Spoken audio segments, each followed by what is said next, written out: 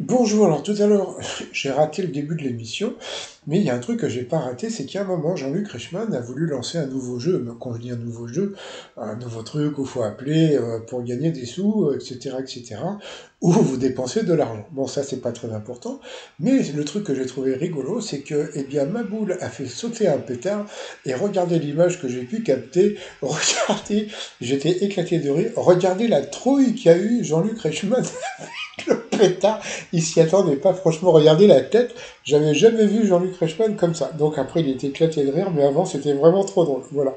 Allez, je vous dis à plus, bye.